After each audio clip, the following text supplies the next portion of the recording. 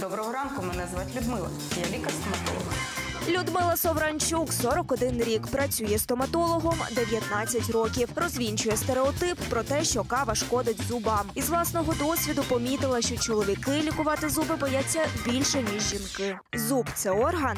Так, зуб це орган. І я б сказала, що це дуже важливий орган травної системи організму, тому що від нього залежить дуже-дуже багато. Як заспокоїти пацієнта, який нервує та боїться? Я вважаю, що з пацієнтами взагалі треба розмовляти. Я пояснюю, що я буду робити, що відбувається, що відбулося. Показую в дзеркало, що людина має в порожнині рота, що відбулося. Хто більше боїться стоматологів, чоловіки чи жінки? Чоловіки з досвіду, з мого досвіду, все таки чоловіки вони не намагаються не показувати. Я ж чоловік. Дуже мало хто зізнається, що мені страшно, що я боюсь. Жінки більш емоційні і тому е, легше з ними з'ясувати, що відбувається. Розкажіть про найкурйозніший випадок. Коли ми е, вносимо пацієнту травильний гель на зубчик, він е, міститься в шприці в такому ну з голочкою. От. І я не попередила. Тепер я вже попереджаю кожного пацієнта, що все, що ви бачите у мене в руках, в вигляді шприців, це не укол. Без попередження нікому нічого не колю. Е, Я е, повернулася до столика, взяла шприц, занесла над пацієнтом. Обертаюся, пацієнта немає. Він зісковзнув з крісла просто і втік.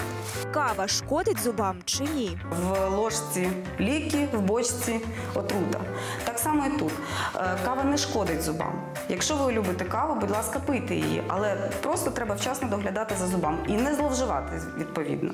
Чи приходили пацієнти на підпитку? Да, ну це відчувається запах моментально, тому ми прощаємось. Тобто домовляємось на наступну зустріч і все. Якщо це невідкладна допомога, ну дуже сильно болів зуб, я намагаюся все-таки надати допомогу. Ну це залежить від ступеню сп'яніння, скажімо так, тому що бували такі ситуації, коли людина, ну я розумію, що їй болить, але допомогти вже нічим не може.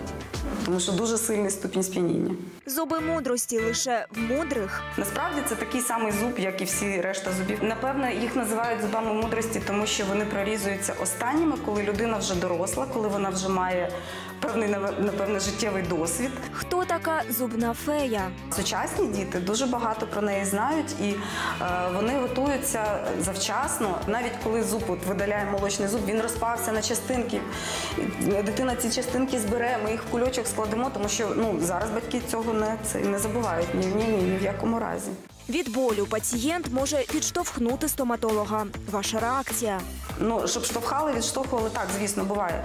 Але це вже реакція ну, напрацьовується з роками. Тобто забираєш зразу ногу з педалі і все зупиняється, і тоді вже починаєш спілкуватися з пацієнтом. З самого початку я з пацієнтом домовляюсь про те, що ми спілкуємося виключно голосом. Тобто, якщо я роблю щось неприємне, пацієнт не піднімає руки, ноги, тому що я зосереджена на зубі. Де стоматологи лікують собі зуби.